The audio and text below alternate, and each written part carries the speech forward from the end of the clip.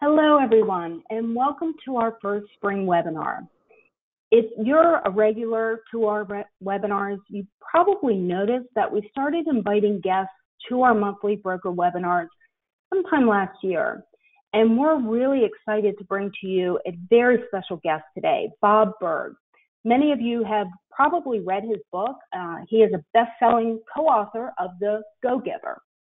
My name is Lisa Collins, and I am the Director of Broker Concierge Services here at PrimePay. I'm really excited to get a conversation started, something other than the COVID-19, right? Take, take a little break from all the technical stuff that we've been listening to and hearing about, and really sit back and hear a very positive message. The, the discussion will be about 30 minutes, and we will post the recording as we always do to our Broker Concierge YouTube channel so you can go back and listen to it or you can share it with somebody who maybe needs a positive message.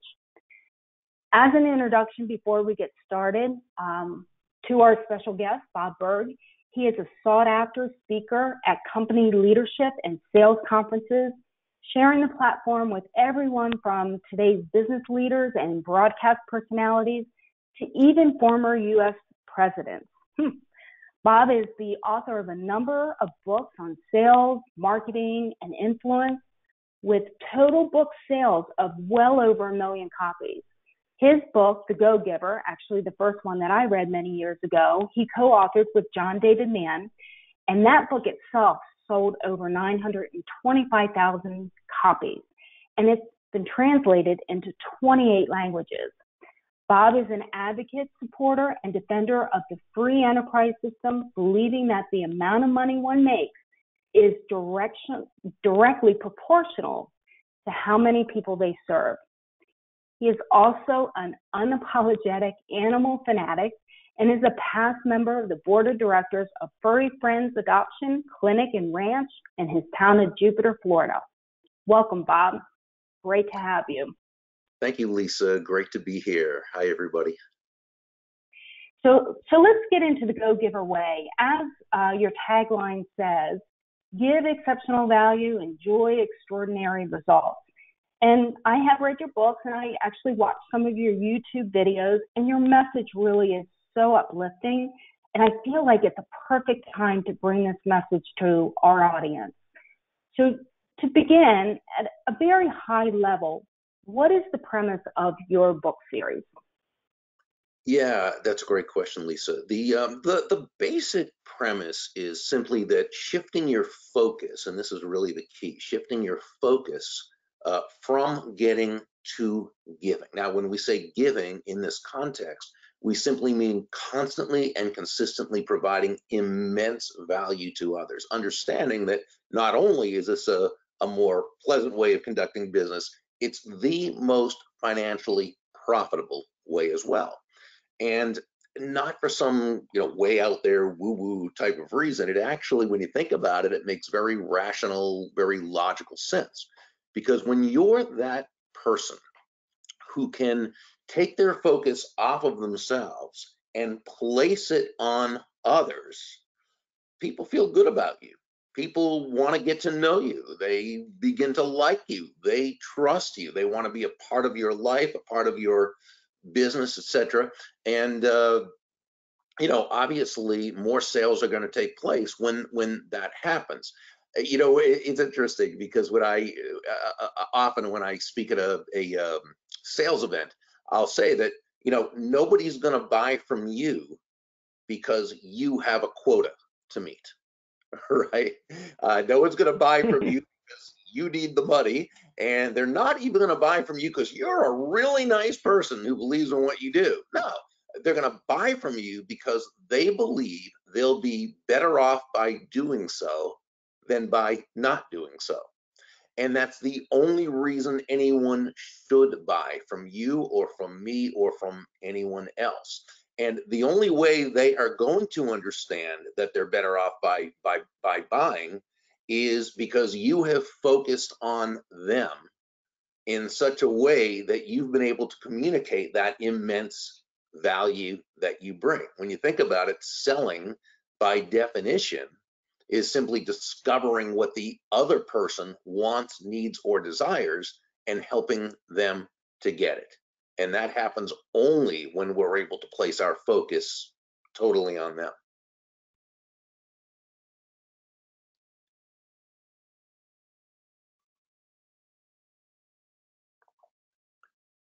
Lisa, I may have lost you. Are you there? I am. I'm sorry. In in your Go Giver book, you, you talk about these five laws that will bring you both personal effectiveness and also the professional success. So is that what you're talking about here when you just gave that that intro? Are you attributing that to the five laws?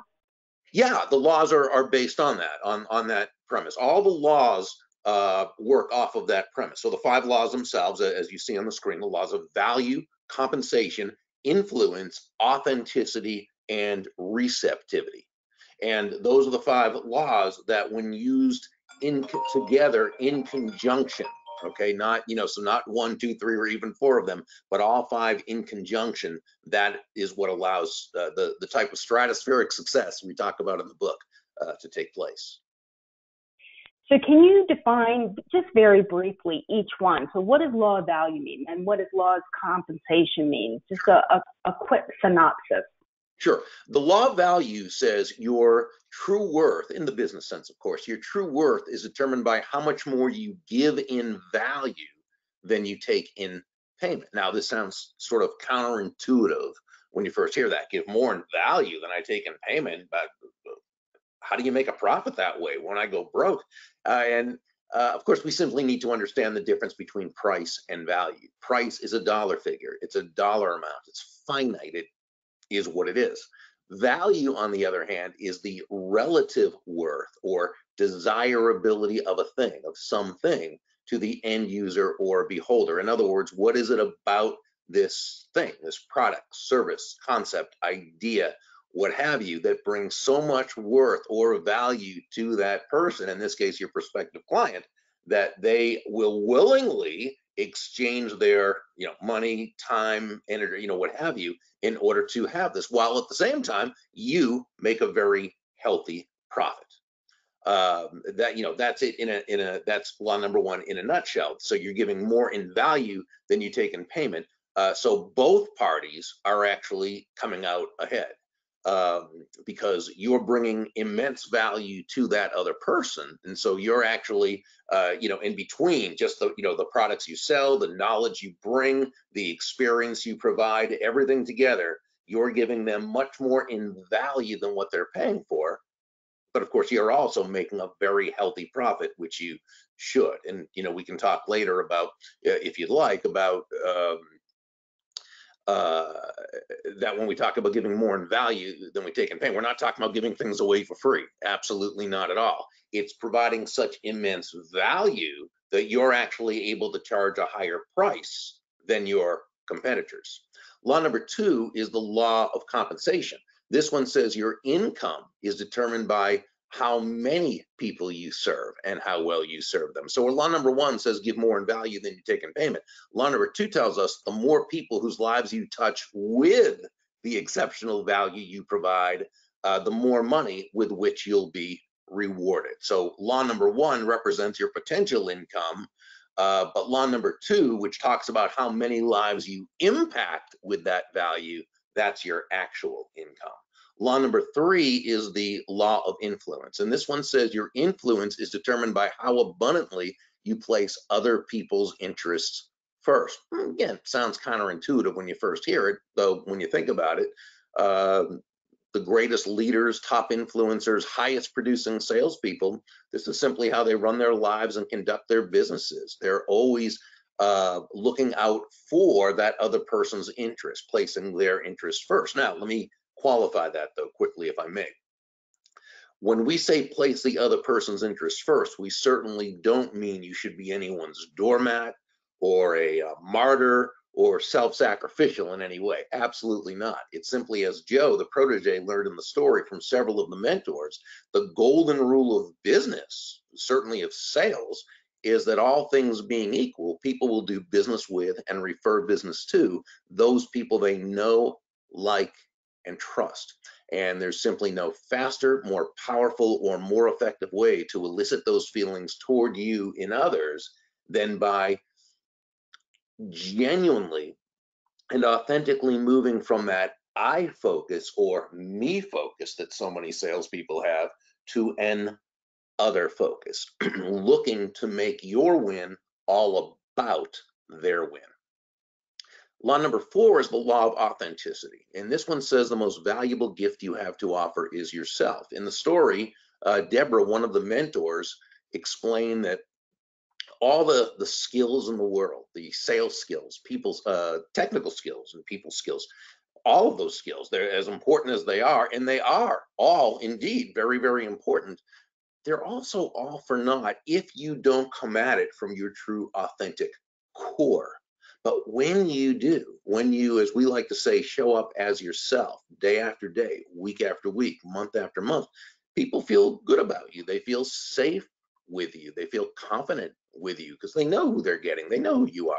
They know you. They like you. They love you. They trust you. They want to be in relationship with you and they want to do business with you or refer you and or refer you to others.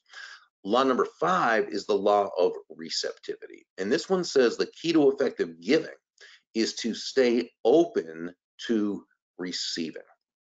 Really, this is nothing more than understanding that just as we we breathe out, we also have to breathe in, right?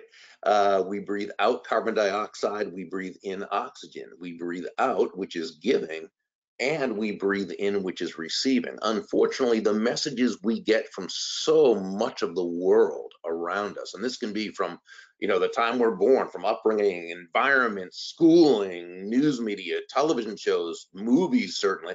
Uh, you know, they the world around us gives us a horribly negative messages message about money and about abundance, and you think, gosh, anyone who has money is evil and if someone's made a lot of money, they did it on the backs of others or by step. You know, it, it's a big world. There's plenty of people out there that do lousy things, but no, especially in a free market-based environment where no one is forced to do business with you. The only way you can earn a lot of money is by providing a lot of value to a lot of people. So, but what happens is it really on an unconscious level gets into into our heads. And so that's why people can sometimes sabotage themselves from being able to really receive the kind of money that they have that they have earned through through doing great work. Uh, so it's you know it's not a matter of are you a giver or a receiver. No you're both. You're a giver and a receiver. See uh, contrary to the message we get from the world around us giving and receiving are not opposite concepts they're simply two sides of the very same coin. They work together in tandem. This is mm-hmm. also now you, mm-hmm.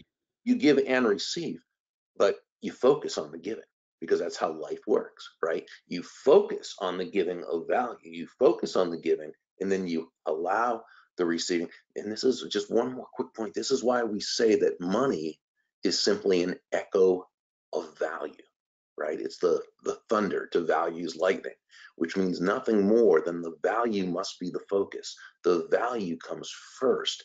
The money you receive is simply a, a very natural result of the value you provided. Yeah, that's an interesting analogy, the, the thunder and the lightning. I like that. So, in that discussion what you were just talking about, um, money being evil or negative, um, it reminded me of something that I read in your book that decisions really shouldn't be solely based on whether or not it makes money. Um, you say it's it's that's not a bad question to ask. It, actually, it's a good question. It's just a bad first question. So I think a lot of salespeople and agency owners on, on this um, this webinar might disagree with you. They might even say that it's the only question when it comes to business. You know, um, does it make money is the decision. So what do you, can you expand on that? Sure. And and this actually this occurred in the original book when Pindar, the main mentor, was talking to Joe, and Joe was talking about something hmm. about you know, making a killing and about and and Pindar was sort of saying, well, maybe that's not the right place to look first. And Joe says, are you saying making money, asking if something will make money is a a, a bad question? No, and like you just said, no, it's a great question. Just a bad first question. Why? Then he said, first ask, does it serve? Okay. Uh, in other words, we could ask the question, is there a market for it? Uh, is this something that is going to provide immense value to others? Focus on that. Because if you go in focused on the money, uh, again, let's go back to the, the, the point that this person's not buying from you because you're interested in their money. Okay. Uh, so if you go in focused on will it serve, then the, they're much more likely to do business with you. The money's going to come. Now, by the way, um, uh, we also say again, the money is important in terms of, you know, if something might serve, but if it's not profitable, then that's also a question. So if you're, you know, going in there and you're so anxious to get a client that you're giving away the store and not making a profit, that's also a question. So yes, first as does it serve? If you and if it does serve them, okay, and it serves them very, very well, you should also be making a very healthy profit. But first it's the serving, then it's thinking, does it make a profit? But also, it, it's also important to ask, does it serve? Okay, is there a market for it? And then, is there profit in it for you? Is there money as well? So they're both important. It's just that one is where the focus is, and that's the key. To the degree that you focus on the value, the money is going to follow. Focus on the money, and it's much less likely to, to take place. So let's go back to I got trigger finger happy there um, and jumped ahead. Sorry about that. Let's let's go back to value though. When you're talking about free service, this really resonates with me because when when Obamacare or the healthcare reform came around, um, insurance, group health insurance, really became more of a commodity. And the discussion at that time with our broker partners was more on how are you going to be a consultant? How can you focus on delivering value? Because that insurance product no longer is a value, it's a commodity. And what happened, what we saw is value to many meant giving away free services. Um, so how can they get away from giving the like a Ben admin platform, for example, will cost them some money, but they're giving it to their client for free. So can you share with uh, the consultants on the on the call how can they add value without costing too much and giving free services away? Right. Whenever you're dealing in a commodity, okay, um, we have to realize that the client, the potential client, the prospective client, is is by and large, if they're just looking at the commodity itself, and there's nothing, it's if there's nothing to distinguish the products or services, and in this case there isn't, okay, um, then it's always going to come down to who has the lowest price. And unless your last name is uh, Walmart or Amazon.com, which it isn't, trying to make low price your unique selling proposition, right? It's not a, a good way to do business. It's it's not um, uh, it's not productive. It's not profitable, and I don't believe it's sustainable. Okay, not if you want to have a, a, a lucrative, fun business that makes you feel good about it and one that you're able to serve a lot of people because you are you're staying in business and you're making enough to be able to do that so basically the the the, the answer is in order to communicate that additional value that would distinguish you from from your competition you've got to be that value it's you they're going to buy you've got to be that value now how do you do that fortunately there are dozens, if not hundreds of ways to communicate that additional value. But they tend to come down to five, what we call elements of value. And those elements of value are excellence, consistency, attention, empathy, and appreciation. When you think of excellence, sure, you think about, hey, you know your work, you know your job, you know your products. Um, but we can also take it a step further and say that, and, and I don't know how many of you listening to this uh, work in a very niche targeted market. So if you do, it will be a little bit easier than what I'm about to suggest. But regardless, you want to know the business of the client, the potential client, the prospective client so well that not only when you um, when you're uh, discovering what they need, want, and desire, you know things, you know more about their business than they know about their business in terms of how your products and services relate to it and how you can help. So, what that allows you to do is to add insight and help them understand where they may have challenges and issues that they don't even know they have that you can then step in and be able to to come through and add that kind of wonderful value uh, through your solutions. Um, uh, you know that's that's excellence. That's being able to to be that resource for that that person. Uh, excellence, though, is also how you make people feel uh, when they call the office. Are they greeted in the appropriate way? Uh, are they greeted after a couple of rings um, uh, by someone who sounds as though they're they're you know glad to hear from them, not not as though they have had their day interrupted, even if even if they have two or three calls going on. Remember, when that person calls, all they know is they're calling and and so forth. Uh, when you talk with the uh, administrative assistant, are you uh, treating that person with the respect that he or she deserves? Um, are you are you returning calls on a timely basis? Are you um, returning emails on a, a, timely basis? Which doesn't mean you have to jump through hoops, but it means you're always at every interaction, at every touch point, you always have in mind how this other person feels. Because if they feel good about themselves, they're going to feel good about you, and if they feel good about you, they're going to be more interested in in hearing from you and knowing how you can bring value to them through your product or service.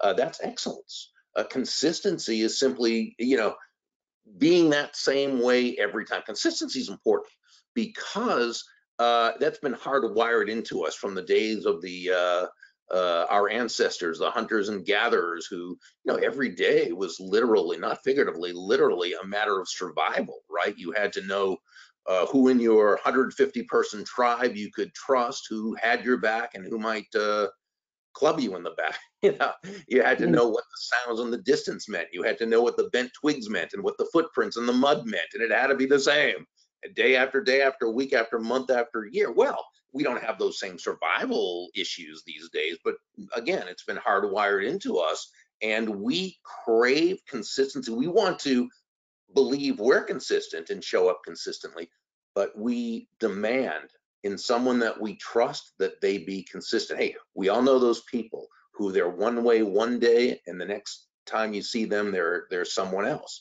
Uh, one day they're just sweet, kind, wonderful. Next time you see them they're a monster. And you almost they just be a monster all the time because at least you'd know what to expect.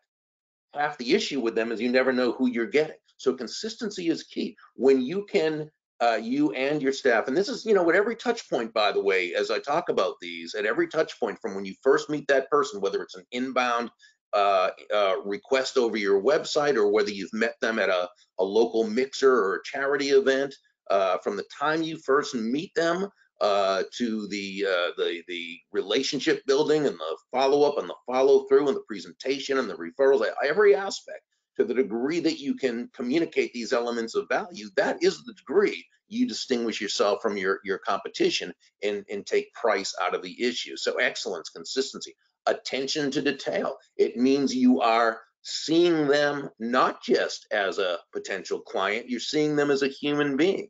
And it means you you listen to them and you get to know them uh, other aside from what they do just as far as business goes. By the way, with the internet these days, that's even easier because you can find out what some of their personal interests are and you can bring those up work them into conversation but you know when you talk to them when you ask them and you find out about their family their recreation their their favorite cause whatever these are the things when you can know and talk about that and ask questions about that uh you know that's when again you're different from from everyone else uh, empathy is probably the most important business skill, most important people skill there is.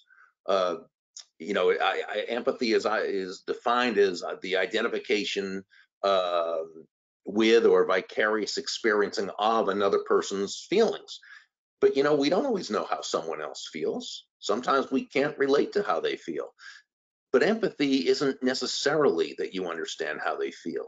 It's understanding that they're feeling something and that this something is distressful to them and that you're there to help them through it. Because remember, while you do this all the day and you provide these wonderful benefits and uh, these this wonderful help for uh, uh, you know they don't do this all the time. So they may have had a bad experience with a, an organization such as yours, or they may be wanting to make a change, or they may never have heard of something like this. And this is totally way off what they ever thought. Okay, see, you know how good it is, you know how beneficial it is, but they don't. So we need to be able to really understand that they are feeling that, and we ask them questions in order to make them feel safe in bringing up these questions to us. And then uh, the last one is uh, appreciation or gratitude. And that's simply really focusing on what's right, focusing on, on what brings you joy. Uh, so what does that have to do with creating value? Because gratitude is attractive to people. Someone who has gratitude has happiness, and happy people are attractive. People want to be around happy people. People feel confident and good being around happy people. So, you know, all these things, and, and it's not just a matter of having gratitude, but expressing gratitude. And this means that when you meet someone at a at an event somewhere, uh, it means you send them a personalized handwritten thank you note. Hi, Gary, or hi, Ann. Uh, thank you. It was a pleasure meeting you at the so-and-so mixer last night. Uh, uh, sounds like your your business is doing terrific. I wish you the best of continued success. You know, whatever it happens to be, and then put it in a number 10 envelope, hand stamp it, hand address it. When you're talking to a, um, when you talk to the, uh, uh, the administrative assistant, okay, even if you didn't get through to his or her boss, send a handwritten, personalized thank you note, thanking them for their time, okay. Uh, you know, it's amazing how that will will help things kind of help the relationship sort of of go along.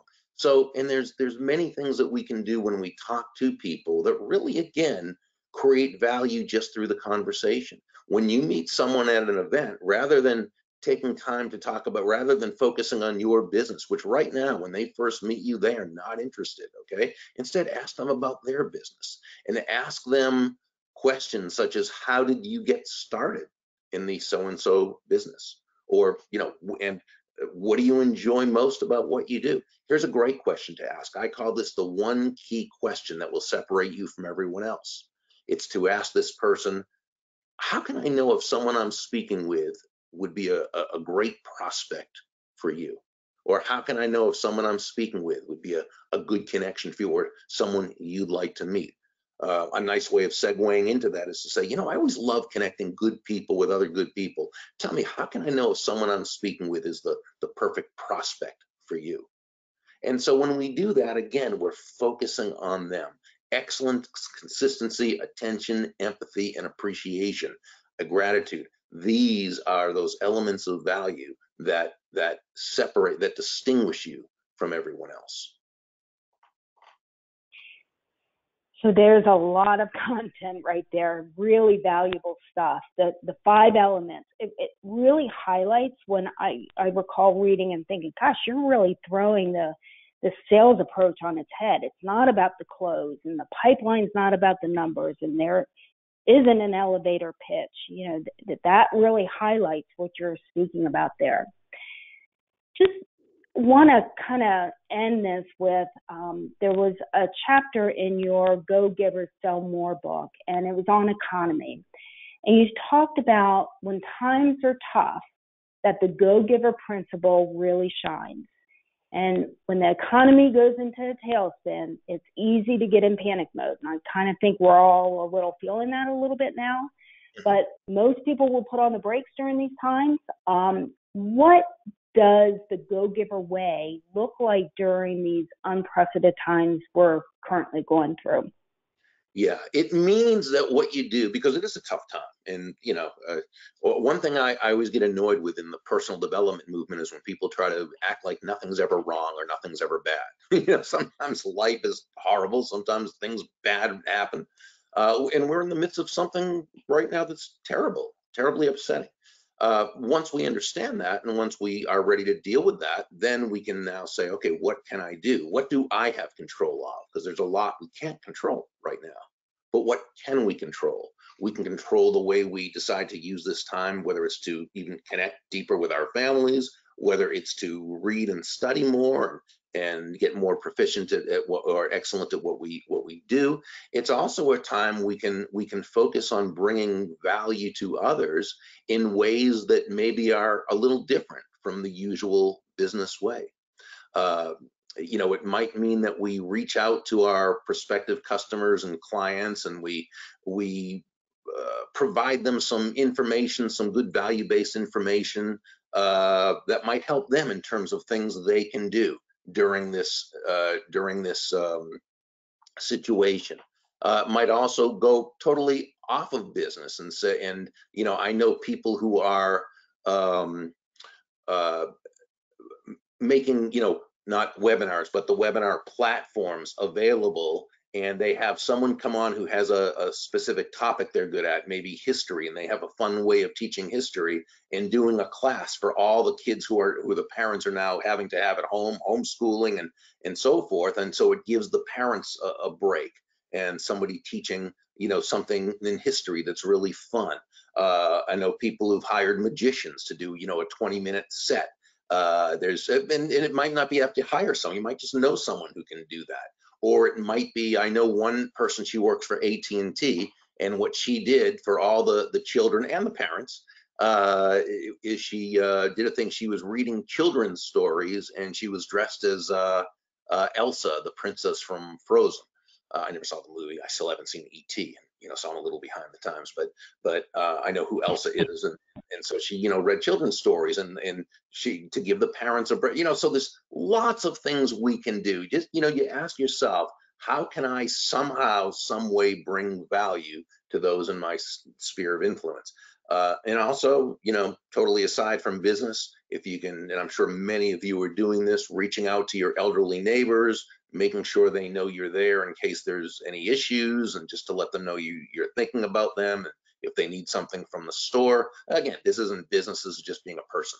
But you know, it's it's all those things we can do. But but certainly to to connect with uh, with our, our prospects, customers, and clients. And as you're going through the internet, finding other ways that people are dealing with this and still being able to do business, passing those tips along to them but just make it so very focused on them. And then as this thing begins to, to blow over, which it eventually will, um, you're going to find that all the work you've done now while your competitors are kind of, you know, sleeping in or, or doing whatever they're doing uh, is going to is going to pay off. So this is a great segue into what I wanted to mention about staying in touch with you. Now is the time to really sharpen your focus. Um, you've got some time to hopefully um, learn some new skill sets, learn the Go Giver way. So, a couple things that I just pulled off of your site, ways to get in touch with you. LinkedIn, certainly um, a great way. That's actually how we first got uh, connected here. You also have your Facebook page. Yeah. Show all of this. Your Thanks. Twitter. You mm-hmm. got all the social media going on here. Yeah. Instagram. Yeah, a little late to the game with Instagram, but uh, yeah. that that's you know the fast moving one that's just recently started really taking off. So, and YouTube, you've got a wonderful YouTube channel. As I said, I've watched a lot of that content as well. So I encourage you all to reach out. Um, you've got a website, well, actually two, thegogiver.com and burg.com. Yeah, you know, the um, if if they go to burg.com and they scroll down to the um, podcast, that's what we have. Oh, okay. Oh no, either way, that this one's good yep. too. That's the Go Giver one, and the, the Go Giver podcast, which I'm not doing anymore, but we have something like 153 archived episodes. So if you want to binge listen to some of those, you, you certainly can. Um, and then uh, and yes that when you when you uh, if you decide to to join the site you know to, to register on the site you get a special report endless prospects the the go giver way and uh, And then, yeah, at burg.com, we have the, um, oh, yeah, well, we have that. We'll be, we have, of course, a couple of endless referrals workshops, Yeah. the one in June, but we tend to have those either in Orlando, Florida, or Jupiter, and that's two days. Uh, we limit it to uh, 30 people. I think last one was 25 people, but we decided 30 we could we can handle, and it's two days of really intense putting together your endless referrals system.